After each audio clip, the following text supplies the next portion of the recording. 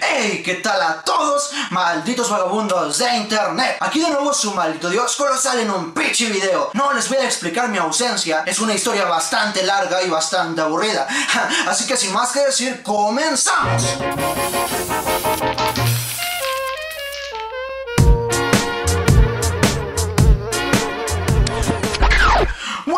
Como lo dice en el título del video, el día de hoy platicaremos y apartaremos un unboxing de la PlayStation 4 Slim y les voy a platicar si es que en verdad conviene comprar una de estas consolas en 2018. La verdad está bastante bien, pero bueno, les iré platicando alrededor del video, así que vamos a empezar con esto. Acabo de comprar la consola y bueno, me dieron una bolsita bastante bonita que es de PlayStation, está azulita y todo, me gustó bastante, ¿saben? Es un detalle que no había tenido con Xbox. Vaya, me gustó bastante la bolsa, simplemente se las quería mostrar. Y bueno, pues aquí está la PlayStation. Es una versión que se llama Hits y los botones de PlayStation, la verdad no sé cómo verga se debe decir eso, pero así se llama la versión. Y bueno, pues incluye lo que serían tres juegos que son los más representativos de esta consola, que sería el God of War 3, el Uncharted 4 y el Horizon. La verdad, el Horizon no sé de qué va. Uncharted 4 lo quiero jugar y God of War ni se diga. Vamos a decirles qué es lo que tiene. Lo que nos incluye sería un almacenamiento de 500 GB. La verdad, es una consola estándar. Ya saben que las Xbox One estándar también incluyen 500 GB de almacenamiento. Vaya, no es la gran cosa. También tiene lo que serían tres meses de PlayStation Plus. Pero bueno, vamos a platicarles un poco de la membresía y todas esas vainas que no me gustaron. Y también les voy a platicar lo que me gustó. Así que vamos a empezar con el desempaquetado. Eh, tengo un cuchillo de estos. No suelo hacer unboxing, así que no esperen un pinche cuchillo de esos locos que luego viste en los unboxing, que la verdad también vergas. Pero bueno, vamos a abrir la caja. El sellito de PlayStation, la verdad que está chido. Bueno, bueno, vamos a abrirlo. Vaya, que lo primero nos incluye una cajita normal, es como la carcasa igual. La Xbox One incluye una pinche carcasa del juego que compres y adentro te viene una cajita ya con el juego. Ahí está. Ah, bellísima. Bueno, aquí está esta, no trae nada, así que vamos a botarla la verga. Pero bueno, esta es la caja donde incluye todo. La voy a tratar de sacar con cuidado y que no se me caiga nada. Y se preguntarán, Spector, tú eres de Xbox One, ¿por qué no te compraste la Xbox One X y te compraste la PlayStation 4? Pero bueno, bueno. Es una larga historia, pero la verdad desde que salió Silent Hill, desde que iba a salir y lo cancelaron, yo me quedé con las ganas de jugar PlayStation 4. Nunca la he jugado en mi vida y creo que es una buena oportunidad para ya viciarme un poco. No voy a dejar de subir Xbox si es lo que piensan algunos. Simplemente es por mera mero pasatiempo jugar PlayStation. Pero bueno, ya si alguien tiene, pídame mi nickname o pase su nickname y los agrego. La verdad no tengo amigos. Qué sad. Ya lo primero que sale son cables. Les voy a explicar de qué son los cables y bueno, pues vamos a sacarlos. El control es lo que yo tenía ganas de ver. Nunca he tocado un control de PlayStation 4. Vaya, nunca la he jugado. Pero bueno, aquí están todos los cables que incluye. El primero es el cable de corriente. Eh, como saben ya las consolas de Slim, tanto la Xbox One S ya no incluye un puto regulador, ya lo tiene todo dentro de la consola. Así que vaya, que no es mayor problema. Aquí está el cablecito. Está bastante largo, medirá un metro yo creo. Bueno, aquí está el cable, el primer cable de corriente. El segundo cable es un... Es un cable HDMI. Voy a romper la bolsa ya la verga. Aquí está el cable HDMI, ahí lo tienen. Eh, pues es un cable normal. Voy a usar este porque, ¿saben? Los, los putos cables que tengo HDMI están bien culeros. Fui a comprarlos una electrónica y me dieron cables de dish. Y están culeros. Los siguientes son unos audífonos. Aquí están. La verdad yo vi muchas reseñas de esto y dicen que están súper incómodos. Eh, no los voy a ocupar, vaya, que no planeo ocupar estas cosas. Tengo estos audífonos que están bastante chidos, así que los voy a ocupar. Así que bueno, pues vaya, que no los voy a, no les voy a hacer caso. El otro cable es un USB de bastante calidad, se ve bastante bonito. Es para cargar el DualShock, el control.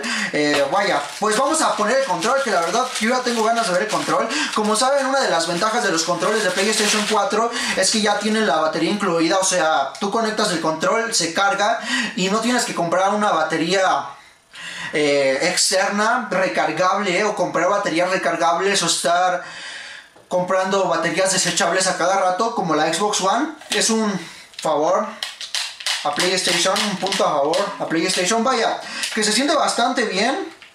Lo esperaba más incómodo, pero saben, eh, creo que me voy a acostumbrar. Y no es la primera vez que yo pruebo PlayStation, la verdad yo crecí con PlayStation, pero no en sí. Crecí con PSP. Crecí con varios títulos como Jack and Daxter, como Ratchet, crecí con esos títulos, con God War, con Silent Hill, y bueno, pues sí, soy bastante fan de PlayStation en el fondo. Y ya que una vez desempaquetamos todo lo que traía, pues vamos, pues en sí a la consola. Creo que la consola se saca del otro lado, porque en él no sale. Ahí está. Pues vamos a sacar la consola.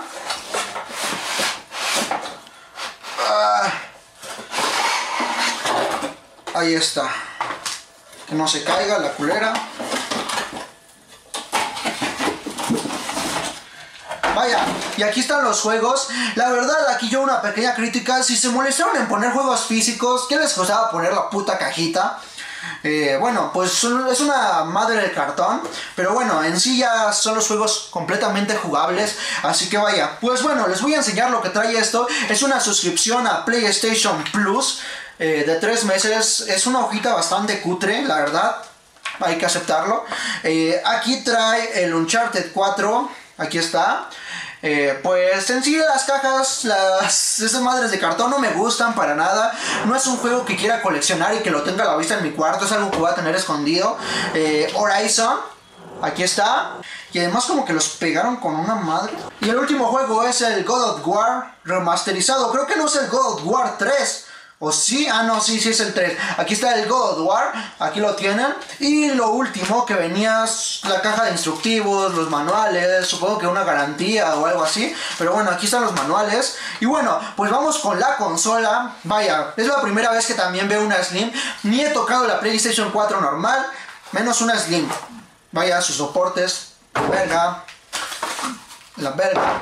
Yo creo que eso es lo más emocionante. Me gustó que donde lo compré que no abrieron la consola. Cuando compré la Xbox One la abrieron y como que ya no es la misma emoción cuando la abres en tu casa, ¿sabes?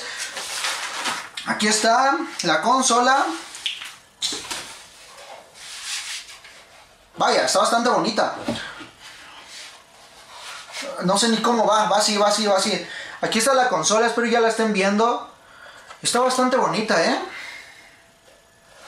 Me gustó, me gustó. Y bueno, pues aquí está la parte frontal. Supongo que ahí está eh, el S de los discos, el lector, también estará el botón de encendido y alguna vinculación del control, dos puertos USBs y atrás en los extremos del lado derecho trae información, del lado izquierdo no trae ni verga. Y la parte de atrás trae unas entradas trae la entrada que sería la de corriente. Este pensé que era un puerto USB, pero al parecer es como un puerto de PlayStation. Yo creo que debe ser como los puertos de Kinect porque no es USB, se nota a simple vista. Y el puerto de Ethernet, el puerto de Ethernet también. Y bueno, es una consola bastante chiquita. Vamos a sacar la consola Xbox 360 para hacer una comparación de tamaños. Pues la verdad es que están bastante iguales de tamaño. Una PlayStation 4 Slim y una Xbox 360. Digamos que la consola en sí está más grande, la PlayStation 4, pero está más delgada y aparte está más grande como por su diseño. No sé si me explico. Miren su diseño por eso, pero prácticamente yo los veo del mismo tamaño. Está más chiquita la PlayStation 4 Plus, a mi parecer. PlayStation 4 Slim, estoy bien pendejo. Y algo más, está bien que venga en mate. Yo creo, aquí les ven una pequeña crítica. Yo creo que las primeras versiones de consolas las sacan brillositas para después sacar una Slim así. Si se fijan, todas las brillositas, las primeras, por ejemplo, la primera consola Xbox 360, esta, eh, era una normal y después sacaron una brillosita de esta misma versión y después ya sacaron esta.